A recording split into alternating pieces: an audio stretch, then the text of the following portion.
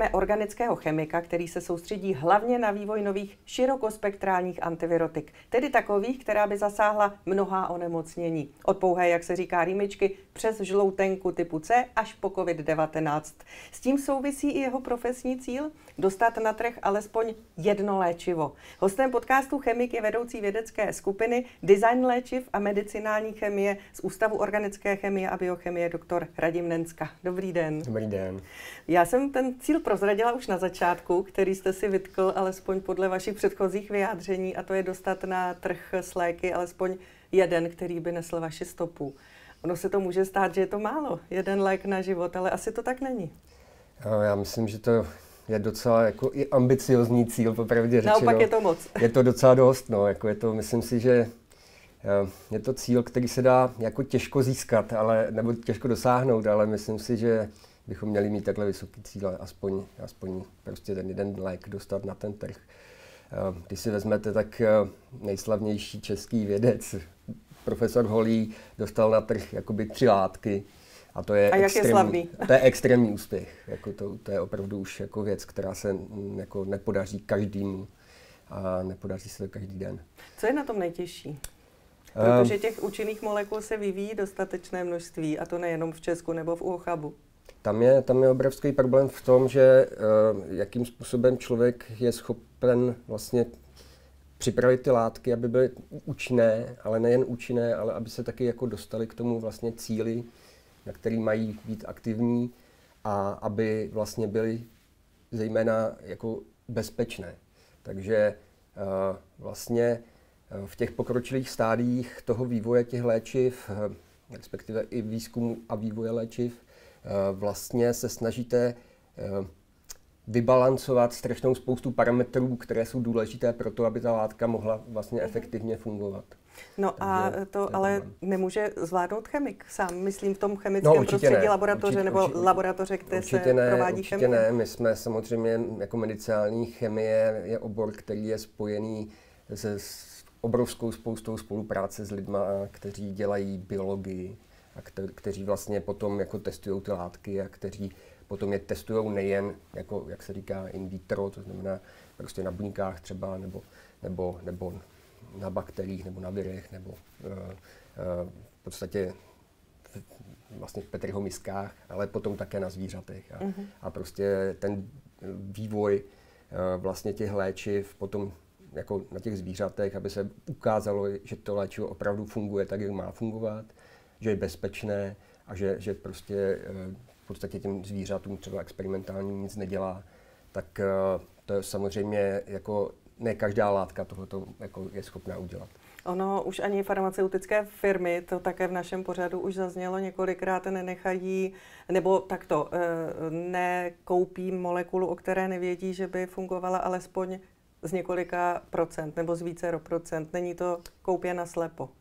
To je určitě eh, ten farmaceutický výzkum a vývoj je extrémně náročný na, na finance, takže oni si to nemůžou v podstatě dovolit. Oni Oni už v současné době většinou nakupují jenom firmy, které už mají které už mají prostě ty léky v nějakém pokročilejším stádiu, už třeba jsou i vlastně testovány na lidech, třeba v první mm-hmm. klinické nebo v druhé klinické fázi. No a jak jste daleko vy k tomu cíli, k tomu, aby eh, z vaší molekuly, z vaší látky vznikl lék?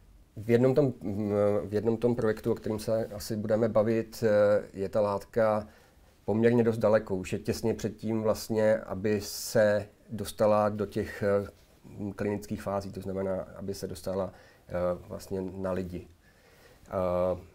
Teďka vlastně u toho jednoho projektu jsme vlastně tak daleko, že jsme udělali eh, ten proof of principle, to znamená, že jsme ukázali, že ta látka funguje tak, jak si myslíme, že by měla fungovat. Udělali jsme toxicity na zvířatech a teďka musíme ještě dodělat některé další toxicity na zvířatech a pak už vlastně ta látka může jít na lidi. Když říkáte toxicity na zvířatech, co to znamená v praxi? Co si pod tím může like představit? Eh, prostě podáváte tu látku mm, nějakým experimentálním zvířatům, většinou to jsou psy. Mm-hmm. No a pojďme být konkrétnější, pokud to jde, protože já vím, že ona je to taky potom otázka konkurence a toho, jestli se eh, z takové látky stane lék, jestli vznikne firma, jestli farmaceutická firma ten nápad eh, licenci odkoupí, tak ale přece jenom něco možného určitě říct, něco je možné říct? Určitě, tak my v současné době právě tenhle ten projekt, který je spojen s nukleárními receptory, respektive agonisty nukleárních receptorů, tak tyhle ty látky jsou v současné době v podstatě zapatentovány a připravuje se vlastně vznik nové firmy, která by měla tyhle ty léčiva nebo tu, tyhle ty látky vlastně dovést potom do, do těch klinických fází a, a potažmo doufejme jako lék. Mm-hmm. Nukleární receptory, teď to zase pojďme přiblížit. e, to je e, věc, která se vyskytuje v buňkách, e, tedy v organismu a máme je každý z nás. A ano, jak ano. na ně cílíte vy? Uh, Tohle to je dost jako těžká otázka. Ano, jak eh, jednoduše vysvětlit nukleární receptor? Tady tohle je, my cílíme na jeden specifický nukleární mm. receptor, to jsou prostě mm, v podstatě proteiny, které v buňkách ovládají to, jak se vlastně uh, potom uh, ty buňky chovají, jakým způsobem prostě uh, ty nukleární receptory říkají ty, té buňce, co má dělat. Ano, vlastně. takže vlastně ji ovládají. Takže, takže vlastně do, do, do, velké, do velké části ji ovládají a jsou schopny vlastně de facto programovat to, co ta buňka bude dělat a jakým způsobem to bude dělat. Tady v tomto konkrétním případě my se zabýváme nukleárním receptorem, který je schopen vlastně vstupovat do metabolismu cholesterolu. A všichni asi víme, že prostě cholesterol je pro nás, jakožto lidi v civilizovaném světě, poměrně velký problém a proto vlastně potřebujeme snižovat hladinu toho špatného cholesterolu eh, vlastně v našem těle. A tady tyhle ty nukleární receptory jsou schopny na několika místech v těle působit tak, že prostě snižují ten cholesterol. Takže vy jste vyvinuli látku, která předává nukleárním receptorům, tedy buňkám, eh, příkaz snižte cholesterol. Přesně tak. A je, je to jako jednoduše řečeno. Jedno, velmi, velmi jednoduše řečeno. To by ano. bylo ale docela průlomové, protože dosavadní léky na cholesterol mají řadu negativních účinků vedlejších, takže tohle by asi byla pro mnoho lidí, zvlášť z toho civilizovaného světa, kde máme přebytky, docela světlá budoucnost. Určitě, jako, ta, samozřejmě my máme jako za, velmi krásné látky, jako jsou statíny, i když mají nějaké vedlejší účinky, tak prostě statíny bere asi 10% evropské populace, což je jako neskutečné množství lidí. Takže eh, je jasné, že prostě pokud budeme mít látky, který, které budou mít eh, vlastně nový mechanismus účinku, budou fungovat jinak, tak eh, můžou právě prospět lidem, kteří třeba nemůžou ty statiny brát, protože mají ty vedlejší účinky nebo mají nějakou alergii třeba na ně a podobně. Vy jste před chvílí řekl, že ta látka už se připravuje k testování na lidech, tedy k těm klinickým testům. Jaká je pravděpodobnost, že z ní bude lék v tuhle chvíli? A to je strašně těžké říct. Ještě pořád to není možné to je, říct to je, to je, Ta pravděpodobnost se zvyšuje, ale pořád to není. Přesně tak, ta pravděpodobnost se zvyšuje, 100%. ale je to, no to vůbec ne.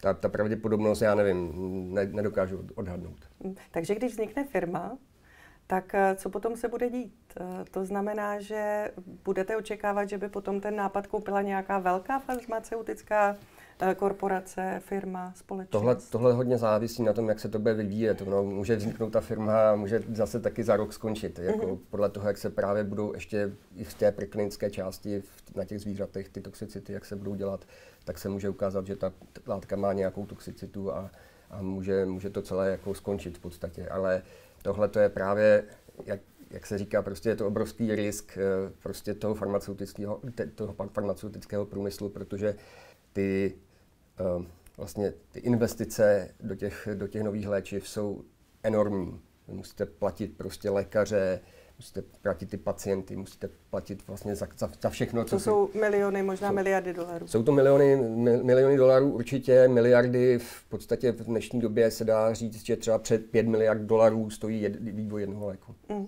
To znamená, že teď se ukáže, jestli ta látka a jak bude fungovat v lidských organismech, v lidském teď se, těle. Teď se, teď se ukáže ještě, jak, jakým způsobem je prostě bezpečná ta látka ještě předtím, než půjde do kliniky, do, do těch prvních klinických fází a pak se vlastně ukazuje, že ta látka je bezpečná v podstatě na, na lidech, že jim v, tom, v té první klinické fázi vlastně to zkoušíte na, na zdravých dobrovolnících, kteří jenom jako ukážou právě, že, že ta toxicita třeba, která se ne, neviděla u těch zvířat, tak se taky nevidí u těch mm. lidí, že ta látka je prostě bezpečná. Pak v těch dalších, v dalších uh, klinických fázích se vlastně ukazuje to, jestli ta látka je schopná vlastně dělat to, co má. Mně to nedá. Já se zeptám, jak velký časový výhled vidíte vy, nebo předpokládáte? To je hodně, hodně uh, těžká taky otázka. Myslím si, že rozumné je říct třeba výhledově pět, pět let. Jak důležitá je mezinárodní spolupráce, když se něco takového chystá? Dokáže udělat lék jedna vědecká skupina, třeba taková, jakou vedete vy, v jednom jediném ústavu v jedné zemi? Nebo vyvinout takovou látku, taková, která by taková se lékem skupina, Taková skupina jako, jako já ne, jako kterou mám já ne. Určitě existují velké skupiny, které mají všechno, co je potřeba, ale eh, v podstatě asi to není možné, protože musíte prostě spolupracovat uh, takhle. My můžeme udělat ten začátek, my můžeme navrhnout to léčivo, my můžeme prostě ukázat, že to léčivo funguje. To bychom asi byli schopni udělat i jakoby v naší skupině, ale potom potřebujete prostě spoustu lidí, kteří naopak jako dělají už prostě, jsou to, jsou to lékaři, mm-hmm. jsou, jsou to bio, biologové, lékaři a tak dále. Takže potom už je prostě, to je, jako není reálné, jako udělat v jedné skupině. To je prostě, můžeme udělat ten začátek a pak, pak musí přijít někdo, kdo to dodělá celé. Takže i v tom případě, o kterém jsme mluvili teď my, to jsou ty uh, látky ovlivňující nukleární receptory ke snižování cholesterolu v lidském těle, tak vy spolupracujete s nějakými kolegy z jiných oborů i třeba z jiných zemí? Tady, tady, tady v tomto případě je to v České republice. My spolupracujeme s profesorem Petrem Pávkem z farmaceutické fakulty a s dalšími, dalšími lidmi, jako je Karl Chlubský, který teda v současné době pracuje tady na Ústavu organické chemie a biochemie, kteří vlastně dělali ty experimenty eh, na experimentálních zvířatech, který, tady v tomto případě to bylo velmi specifické, protože jsme museli mít vlastně takzvané humanizované myši, na kterých jsme to dělali, aby, protože tyhle ty nukleární receptory jsou velmi odlišné právě u myší a u lidí, takže jsme museli mít vlastně speciální... Co to je speciál. humanizovaná myš?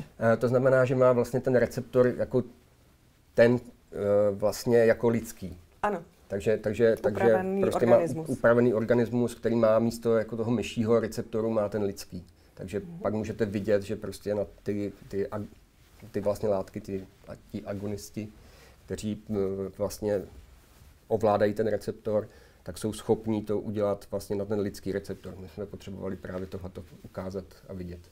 Já se vrátím do UCHABu, do Ústavu organické chemie a biochemie, kde právě teď natáčíme rozhovor, protože eh, vás jsem přivedl před lety ještě Antonín Holík, kterého jste tak, taky zmínil na začátku našeho rozhovoru. Je to tak? Je to tak, je to přesně tak. My jsme vlastně se potkali na, farmace, teda na, na přírodovědecké fakultě a mm, musel, byla asi moje diplomová práce, tak, tak, eh, tak se rozhodl, že si mě vezme do svého týmu. To vás oslovil přímo nebo na základě nějaké my jsme, vaší prezentace? My jsme na základě v podstatě prezentace. Mě to zaujalo, protože vy vlastně jste původně chemik být ani nechtěl. Je to tak? Vy jste studoval farmacii. Já jsem, já jsem původně úplně chtěl být, chtěl být designer, popravdě řečeno. Ne, takže, tedy jako ne chemik, ale takže designer, ne, myslíte takže, takže nábytku? Designer, no, interiéru, věcí, věcí, zkrátka věcí. Věcí, teda, takže teďka jsem molekulární designer. Aha, tak jste se trošku zmenšil, teda myslím v těch, v těch Já jsem, já jsem začal farmaceutickou fakultu studovat, protože mě samozřejmě jako léčiva za, jako za, zajímaly vždycky a popravdě řečeno jsem vždycky jako inklinoval právě k tomu, co dělám, co je ta nej, nejhlavnější jako část té mojí práce, a to jsou ty antivirotika vlastně, takže vždycky mě bavily ty věry a to, to, to, nebo, nebo prostě ty, fascinovaly v podstatě to, jak tyhle ty jednoduché organismy jsou schopny vlastně zabíjet lidi mhm. a, a, a jsou schopni vlastně ovládat, ovládat ten celý obrovský organismus.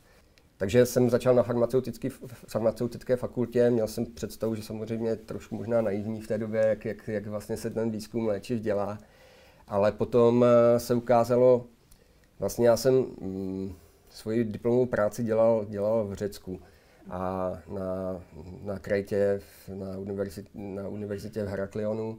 A tam eh, jsem vlastně, abych tak řekl, přičichl k té chemii a pochopil jsem, že to je vlastně strašně krásná věda, protože vlastně máte stavebnici na celý život. Jako můžete si postavit, můžete si nekonečně hrát. Ano, můžete si nekonečně hrát, můžete si postavit, co chcete. Takže tam jsem si vlastně jako řekl, tohle to je skvělý. Jako to vlastně vy máte práce, která může být jako koníč, koníček na celý život. A když jste tedy na Přírodovědecké fakultě tady v Praze potkal Antonína Holého, tak už jste uh, věděl, že jste na té cestě chemie?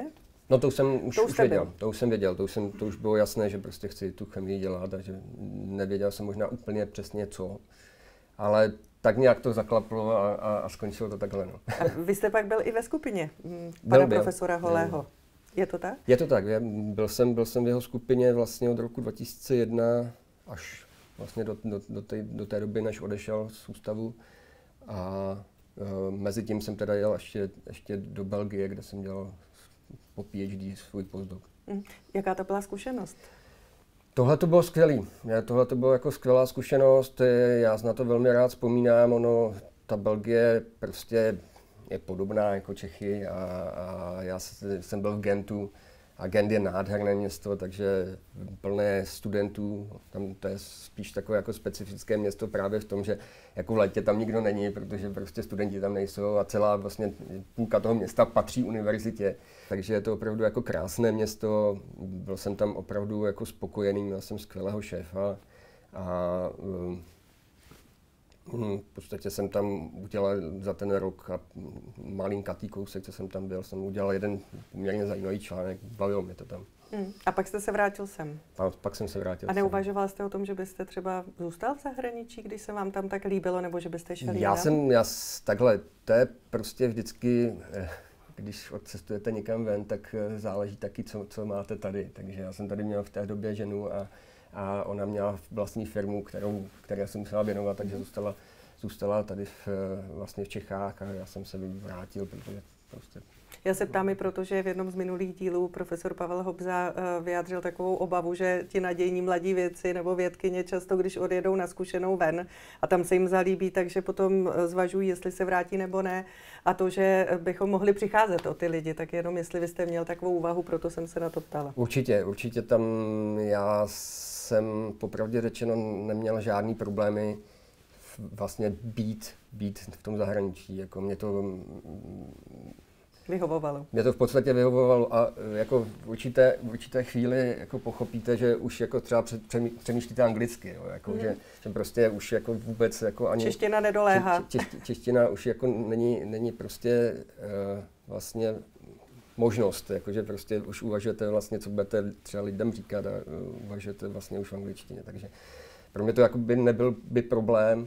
Někdy samozřejmě člověk má ještě i jako v současné době takové jako myšlenky, že třeba by ještě jako někam mohl jet a že by tam ještě nějakou dobu mohl zůstat, takže určitě, ale teďka asi jako Teďka mě to tady strašně baví, protože, protože prostě máme tady skvělý tým, spolupracuju s Eh, doktorem Bouřou eh, na těch všech vlastně eh, antivirových projektech s Danem Ruškem, to jsou prostě nejlepší věci v téhle zemi a to je, to je prostě strašná radost. Škoda to nechat být. No a když jsme u těch projektů, které se týkají antivirálních látek, hmm. antivirotik, hmm. tak tam, to, to už jsem taky prozradila, že ta snaha je vyvinout širokospektrální antivirotikum, aby pomáhalo hm, zabíjet nebo zneškodňovat Eh, viry, které eh, ovlivňují více chorob nebo způsobují více chorob lidskému organismu.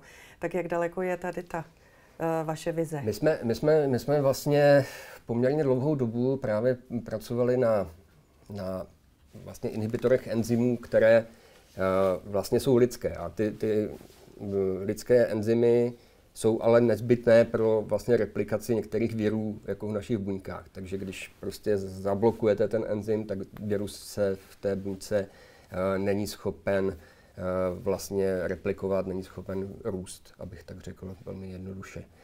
Tenhle ten projekt eh, jsme dělali poměrně dlouhou dobu, ale v současné době se už mu nevěnujeme. Věnujeme se vlastně projektům, které jsou, které jsou hodně spojené s jinými typy Eh, vlastně eh, enzymů, ale už virových. V současné době se nejvíc vlastně věnujeme eh, vlastně specifickým enzymům. Jsou nástroje, které jsou schopny vlastně metylovat virovou RNA a ty viry vlastně, jako je právě SARS nebo, nebo vlastně dengue nebo Zika nebo tady tyhle, ty, tyhle ty nebezpečné viry, prostě tyhle ty specifické enzymy mají ve svém, ve svém genomu, mají, mají, nebo mají kodovaný ve svém genomu a jsou schopny vlastně takhle jakoby ošálit tu buňku a vlastně Eh, Tvářit se, že patří do organismu. Tvářit se, a organismus tak, je přijme. Tak, přesně tak, děkuji. Ne, ne, to je v pořádku. A vy se snažíte, aby to ten organismus rozpoznal. My aby se snažíme, řekl, ne, se, to je jiné, než znám a to zneškodním nebo My se snažíme zablokuji. vlastně zablokovat tady tenhle ten jeden typ vlastně enzymů, které vlastně díky tomu, když ho zablokujete, tak by eh, vlastně on Eh, není schopen ten virus si tady tuhle strukturu specifickou na, ten, na tu RNA jako vy, vybudovat a tím pádem ho ta buňka pozná. Mm-hmm. No a jak je to daleko? Protože SARS-CoV-2 tady máme pořád, covidová epidemie kolem Vánoc a eh, v zimě, tak to už bude asi evergreen i do dalších let? Tady, tady v tomto případě my jsme teďka u, u, u, připravili obrovskou sérii vlastně látek, který jsme uh, vlastně v, minulý, v minulém roce jsme podali patentovou přihlášku na tady tyhle ty léčiva právě proti SARSu. V současné době vlastně pracujeme na tom, aby se tyhle ty léčiva vlastně otestovaly na zvířatech, takže, takže chceme vlastně ukázat, že ty léčiva budou fungovat vlastně ve zvířatech. Mm. Tak je to, je, to, je to blíž než ten druhý projekt, o který jsem mluvil o tom, o těch nukleárních receptorech, na tom jsme pracovali opravdu jako pět let třeba. Mm. Tady na tomhle projektu pracujeme třeba tři roky. Od, vlastně od, od, od roku 2020. Ona to docela urychlila pandemie, no. to jsem chtěla poznamenat, no, že jste tak. se na to asi soustředili vedle dalších projektů, které jste nechali. My jsme vlastně, my jsme vlastně všechno ostatní jako nechali ležet v podstatě, protože my jsme právě pracovali na, na flaviverech, což je dengue a, a zika a vlastně uh, taky uh, klíšťová encefalitida, to jsou všechno velmi podobné věry. Na těch jsme te- pracovali předtím právě a teď se zase k ním vracíme protože to máme rozdělané, ale nemáme to hotové, takže, takže prostě, uh, ale v obou těch případech, jak v tom SARSu, tak vlastně uh, u, u, těch, u těch flavivirů, u té dengue, u toho dengue uh, vlastně pracujeme na, stejné, na stejném typu těch enzymů, na stejných typů proteinů, na které cílíme. RNA vlastně. viry. Jsou to viry RNA. Jsou to, jsou to všechno RNA viry. Flaviviry jsou mnohem jednodušší, než, než, je, než je ten SARS. Ten je opravdu velmi komplexní. Je to jeden z největších vlastně virů, RNA virů, které existují, je opravdu velmi, velmi komplexní virus. Hmm. A já zase se zeptám, ten lék, který by z toho mohl být, nebo látka, která by byla účinná, tak eh, je to zřejmě na dobré cestě, ale kdyby mohl být, to je ještě to je, ve hvězdách. To je úplně ve hvězdách. Si myslím, že tam jako ten horizont je opravdu jako 10 let třeba. Tam je, tam je důležité to, že tyhle, ty, tyhle ty enzymy jsou u těch virů jako velmi, eh, jak se říká, konzervovány, jakože jsou stejné vlastně ty, ty, ty uh, enzymy pro velkou množinu těch, těch virů. Třeba právě u těch flavivirů jako v podstatě se skoro vůbec ty, ty enzymy neliší u ať už je to klišťová encefalitida, kterou přenáší klišťata, nebo dengue, který, kterou přenáší komáři, což jsou vlastně, jakoby, vlastně obrovský rozdíl. Ale ty uh, enzymy, o kterých se tady bavíme, metyltransferázy, jsou vlastně velmi, velmi podobné u obou třeba těch virů. Takže to potrvá asi ještě dlouho, ale když se to povede, tak by to mohl být eh, lék na mnoho chorob. Když se to povede, tak by to mohl být lék na, na několik opravdu jako velmi závažných onemocnění, jako je právě dengue. Ono, e, není to samozřejmě problém tady jako našeho mírného pásu, abych tak řekl, ale, ale vlastně v subtropech je dengue extrémně, eh, extrémně důležitou, důležitým onemocněním a eh, v podstatě jako, jsou nakažení eh, jako miliony lidí za, za rok. Mm-hmm. Takže, takže opravdu jako je to velký problém. Samozřejmě, jako pokud máte lék prostě na dengue a na klišťovou encefalitidu, tak mm, prostě to je opravdu jako minimálně to zachraňuje zdraví, pokud ne životy. Vy jste měli úspěch s výzkumem opičích neštovic a blokování viru tady v případě této nemoci ten článek uveřejnil časopis Nature Communications a eh, tam jste zase přišli s nějakým jiným principem, nebo to ne, je ne, pořád tam, to samé? Tam je ten, to, to, je, to je překvapivé, že, že vlastně uh, tady ten, ten opičí, opičí neštovice mají také tu metyltransferázu, mají taky tady tenhle ten typ enzymů, takže my jsme vlastně byli schopni, protože jsme v té, v té době jakoby pracovali právě na všech těchto těch metyltransferázách z jiných virů, ze SARSu a z dengue, tak, tak jsme prostě se podívali, jestli má vlastně metyltransferázu s Evženem Bouřou právě mm, i tady tenhle ten, tenhle ten virus. Ukázalo se, že má a že dokonce jako velmi, velmi významná pravděpodobně pro replikaci, přestože ten virus je úplně jiný. To je, to je DNA virus, takže tu svoji... Což trošku vyčnívá z toho, úplně, co děláte teď. Úplně, popravdě řečeno, tohle je jeden z velmi mála jako DNA virů, na kterých jsme kdy pracovali. Takže. Takže to je vlastně úspěch, protože... A, a přišli jste na to jak? Vy jste vlastně měli dvě větve výzkumu, nebo to byla náhoda víceméně? Mm, bylo to naprosto cíleně, že jsme prostě jenom, že jsme věděli, že je tady nebezpečí toho, že by mohla vzniknout další epidemie prostě těch mm, opičí neštovic, tak jsme se prostě na ten eh, virus zaměřili. Díky tomu, že tady pracujeme opravdu jako se skvělými lidmi, Honza Weber, Evžen Bouřa, tak jsme byli schopni to udělat opravdu rychle a vlastně byli jsme schopni ukázat, že tenhle ten virus, eh, tenhle ten, tenhle ten enzym je pro ten, pro ten virus opravdu jako zásadní a je schopen vlastně, když se vypne tenhle ten enzym, tak eh, ten virus není schopen vlastně se replikovat v buňkách a mm. prostě v podstatě není schopen fungovat. My už jsme se uh, bavili o tom, že je potřeba spolupracovat. Pokud chce uh, vědec něčeho dosáhnout, tak uh, nemůže na věcech dělat sám a na výzkumu a e, ta pandemie se vynutila vlastně to samé. A v Česku vznikl Národní institut virologie a bakteriologie, do kterého patří i UOCHAP a tak se chci zeptat, jakou naději nebo jaký potenciál vidíte v podobných projektech? Já si myslím, že tady tohle je jako opravdu skvělý projekt, protože e, vlastně dal dohromady v podstatě úplně všechny lidi, kteří dělají nějakou virologii a bakteriologii v téhleté zemi a vlastně nutí je to spolu komunikovat a nutí je to spolu spolupracovat. Takže já si myslím, že tenhle ten projekt zrovna uh, jako dává vlastně šanci, abychom tady mezi sebou uh, v podstatě jako nebojovali, ale naopak jako spolupracovali. spolupracovali. A vychází to, myslíte? Je tam méně konkurence, více Je tam určitě, je, je, to, je, to, je to určitě jako pozitivní, protože i jako naše skupina navázala několik jako nových spojení, prostě, který jsme, které jsme předtím neměli, který, které nám umožňují prostě zase se zaměřovat i na nějaké jiné typy virů, eventuálně bakterie a podobně. Takže určitě je to velmi pozitivní za mě. Co vím, tak eh, celá ta uh, záležitost kolem uh, Národního institutu byla komunikovaná taky jako snaha připravit se pokud možno na další bak, nějakou pandemii nebo epidemii virovou, která na tom se věci shodují, asi v budoucnu přijde a nebude to možná trvat tak dlouho. Je to podle vás tak, že to pomůže, že bychom eh, mohli lépe nebo rychleji odpovídat na hrozby, které ten moderní svět nese? Já pevně věřím, že ano. já, já pevně věřím, že, že, že, právě, že právě tady takovéhle projekty jako mají, mají potenciál vlastně v tomhle tom pomoct, protože pokud nepomůže tohle, tak už nevím, co, co by mělo pomoct. Jo? Jakože, že prostě jo, musíme se na, na to připravit, musíme prostě vytvářet léčiva, které budou, eh, nebo které mají potenciál právě jako zabraňovat eh, širokému spektru virů, bakterií, aby, abychom mohli proti ním efektivně bojovat. A já si myslím, že tohle je velmi jakoby, chválihodná, chválihodná věc, prostě tenhle ten projekt. My už jsme toho řekli dost eh, z vašeho portfolia, na čem zrovna pracujete. Ještě něco, co byste chtěl zmínit, nebo nějaký sen, cíl, eh, vizi, kterou jsme ještě neprobrali?